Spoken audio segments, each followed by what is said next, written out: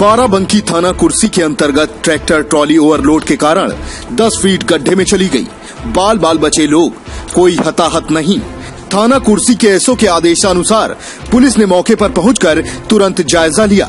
देश प्रदेश की हर छोटी बड़ी खबर के लिए सब्सक्राइब करें हमारा चैनल टीवी 24 समाचार और बेल आइकन दबाना ना भूलें, जिससे कि हम हर खबर पहुँचा सकें आप तक। सबसे पहले